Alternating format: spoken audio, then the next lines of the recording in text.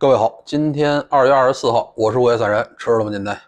我今年啊五十了，在十年前啊，从来没考虑过是养老金这种问题啊。当然，我现在也不考虑，就是我是从来啊不指望这个国家给养、政府给养老的，就哪怕是我党我政府，当然是一直在原来在我工作的时候是说那个呃国家来养老是吧？但是，现在呢，您看这个状态，他养个屁的老啊！对不对？这个很正常的事情。我从来没指望过这个世界上任何一个政府给我养老，但是我交钱，为什么呢？规定，这规矩在这儿呢。所有的人都是觉得这个规矩应该维持，那那就那就那就交交交钱呗。到今天为止，我在国内依然保持自己养老金账户，对吧？我到今天我也没有换护照嘛，我还是中国人。从理论上讲，我还是中国人。那那个。各种各种各样的，呃，包括医保，包括这个什么，呃，包括这个基础的养老保险，什么这些东西我都交着，没问题，都给你交着。但是我不指望当我退休的时候，我能够拿到多少钱。日本这块我也交着，我也不指望将来呢，我用日本政府给我的退休金养老。虽然我已经交了差不多讲十年了，呃，为什么如此啊？这是首第一件事儿，就是我从从来不认为就是政府能够真正的保证我。个人能够在我退休的时候，我就虽然交了很多年的钱，在我退休的时候给我足够的钱，维持一个嗯更好的生活。就是比如说像我现在这样生活，他肯定维持不了，对吧？给不了那么多钱。那第二个是什么？第二个呢，就是说这东西啊，就相当于我一直认为，所有交这个养老保险的这个钱，包括你的失你的那个失业保障啊，包括你的这个什么呃医疗啊，只要交给政府的钱。全是税，是吧？是我尽这社会的义务。但是你指望着从中能够拿回多少来，这事儿就不要想了啊！基本我是不想，当然也有可能别人在想，对吧？这我父母那一辈人呢，他们是比较好一点的。呃，我父母呢，那个离呃就是离呃这个退休之后，那现在收入不现在收入不低，哎呃足够维持一个相对体面的生活，这个毫无疑问的事情。就拿退休金就可能就可以维护维持这个相对体面的生活了啊！他们这辈人还不错。呃，而且他们职位比较高，这个确实是啊，必须得这么说。所以呢，那我既然如此，我其实很少关注这个养老这个。可是你到了岁数呢，总有时候呢会关注一下，说这到底养老金是怎么回事啊？所以呢，前两前两天一看新闻，哎，好了，国内呢也出出新幺蛾子了，哎，不，新出新政策了，说呢养老金呢全国统筹。这个话一说出来，你就知道，这事儿啊确实很麻烦了。为什么呢？因为。只要是说全国统筹，那就跟那个呃，跟那个税务转移是其实一样的。为什么说所有的交给政府的钱都是税啊？这其中也是其中原因之一。您想想看啊，我们交给政府的税，那税是什么？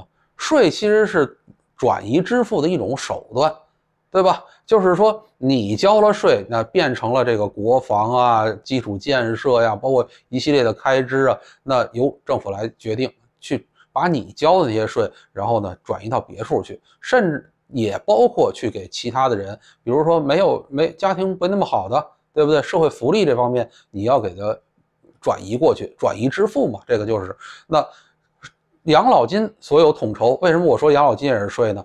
那全国统筹的话，肯定就是一个转移支付的过程。转移支付很简单，就是说有好多省市的这个呃，国内好多省市这个养老金呢已经入不敷出了。那，只呃，我看了一个有一个研究啊，说是二零二零年的时候，也就是疫情那一年前年，那个也国内的养老金的那个呃，直接是断崖式的下跌，啊，大概呢有呃是到什么程度呢？只有六个省市是有结余的，呃，您可以想象都是哪儿？但是我非常惊讶会有西藏，它有结余，那其他地方呢全都是亏。尤其是东三省，东三省就不说了，那很简单呀，就是大量的人离开呀，对吧？你收不上钱来，你还你还有什么可养老金可可说的？因为养老金是年轻人养那个养老人嘛，对不对？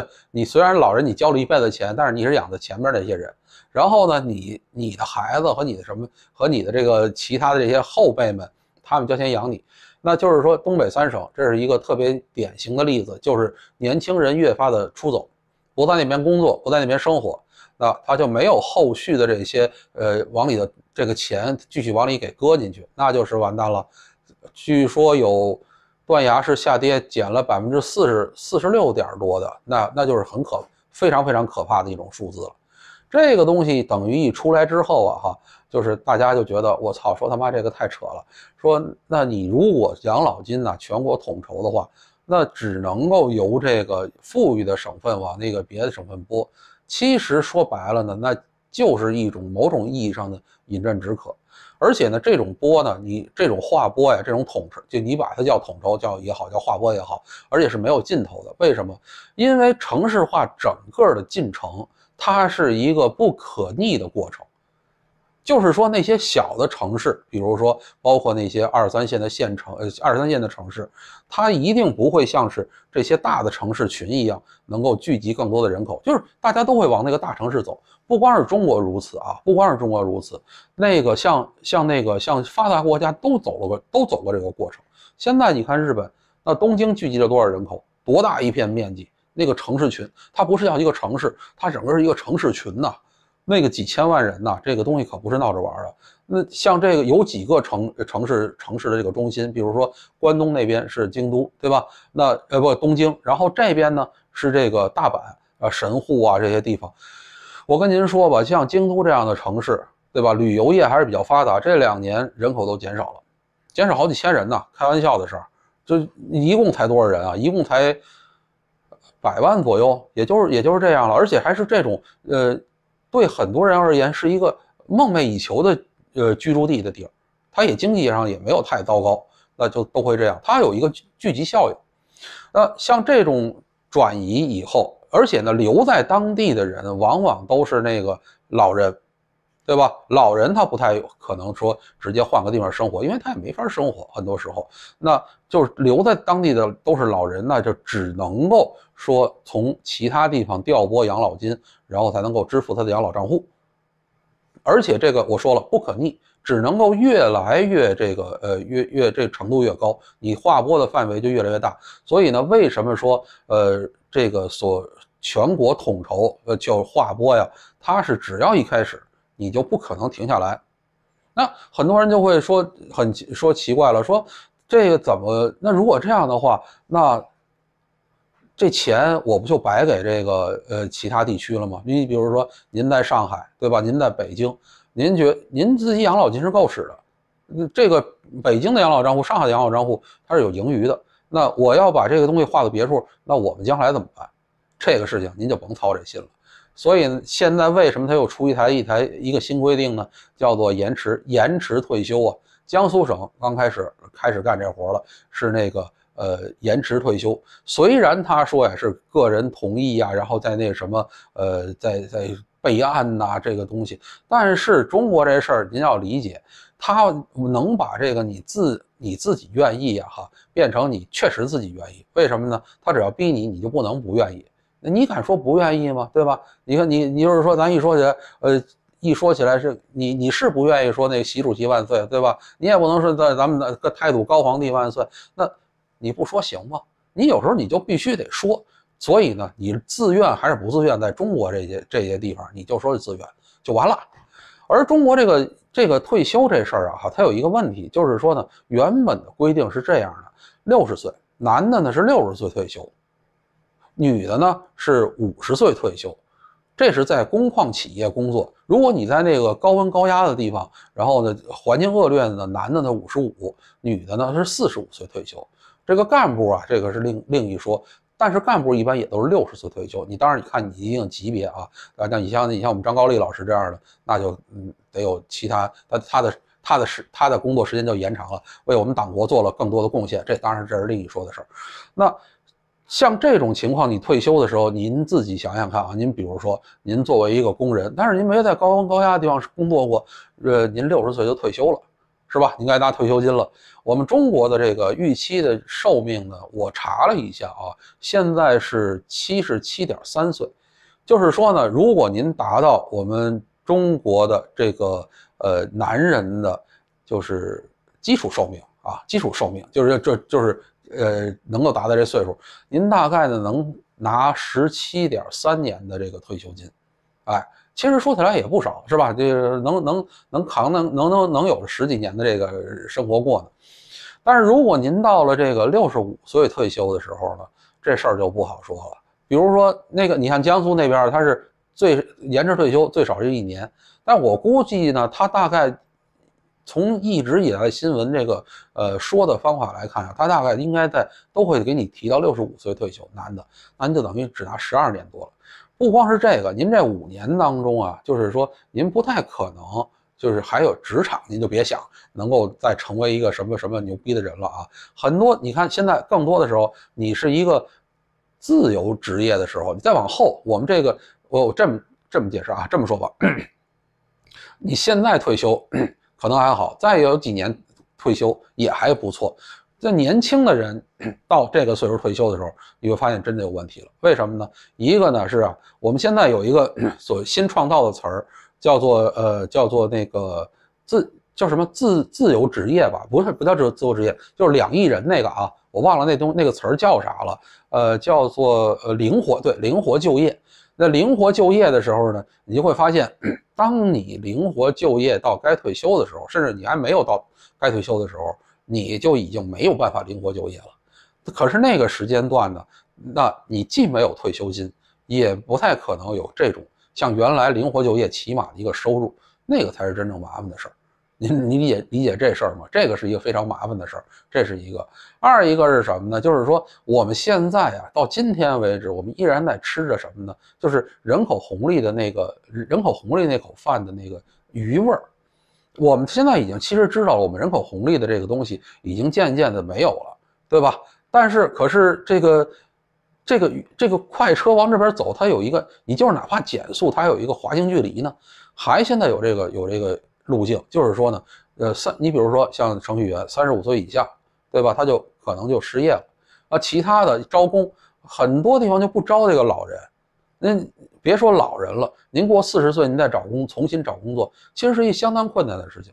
整体社会氛围还没有给这些老人提供工作的工作的机会，或者是这个工作机会非常少，非常少。这个跟其他地方不太一样。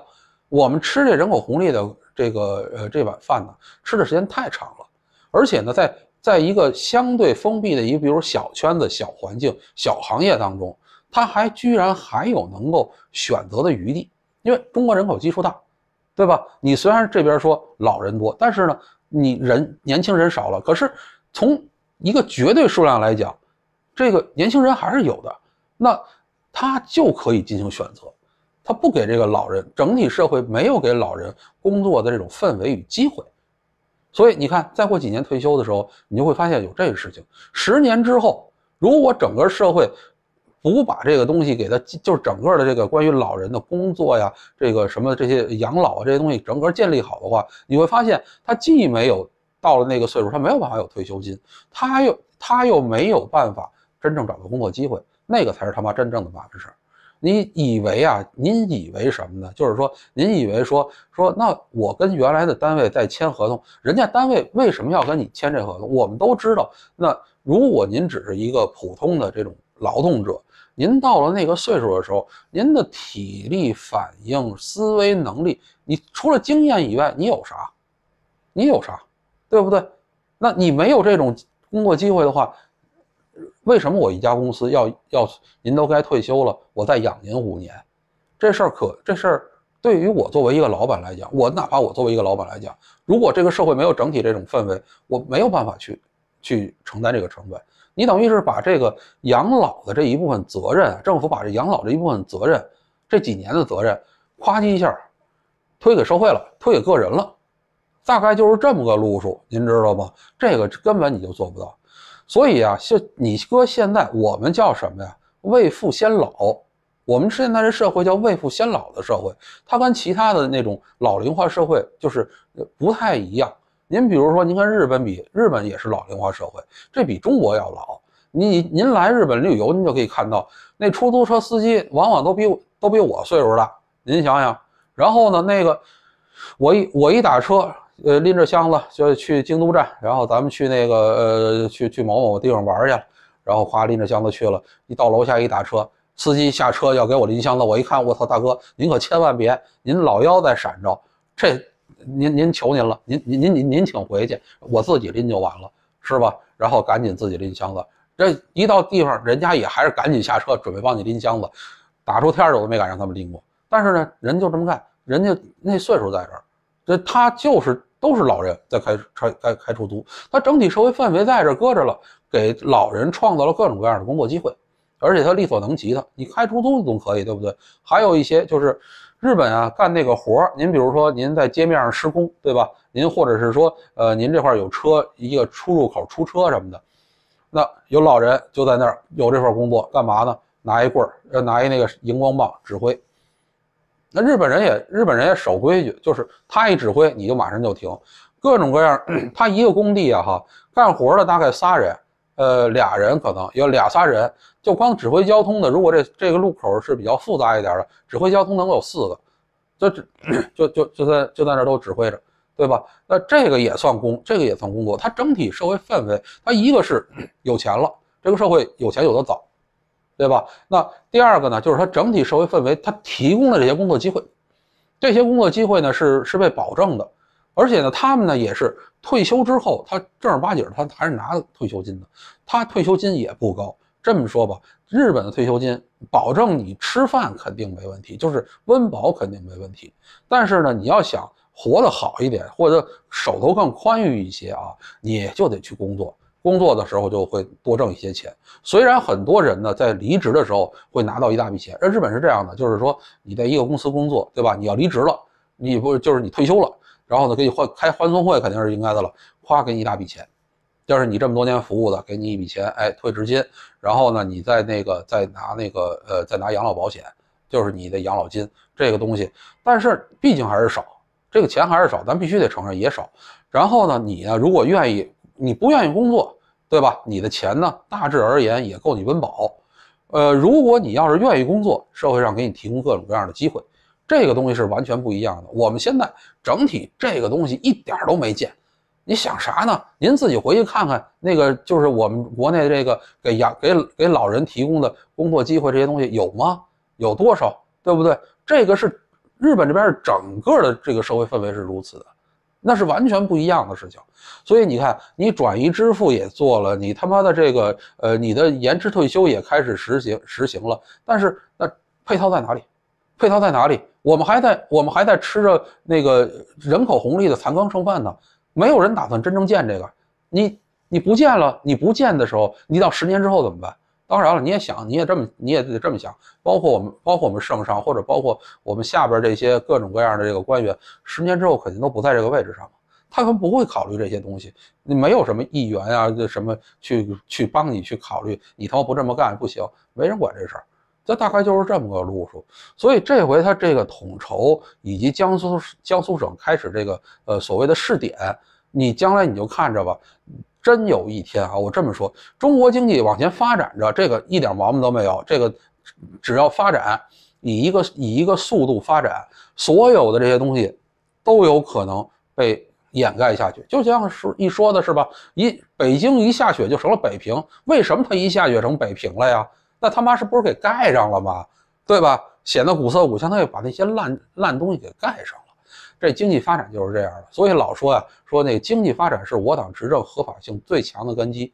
一旦经济不发展了，或者是我们这我们没有经过这个倒退，我们您要知道，我们这些我们这些年改革开放以来，我们没有经历过经济危真正意义上经济危机以及经济上的经济上的那种倒退停滞。如果一旦停滞，一旦倒退，会出什么样的事情？各位可以尽可以想象。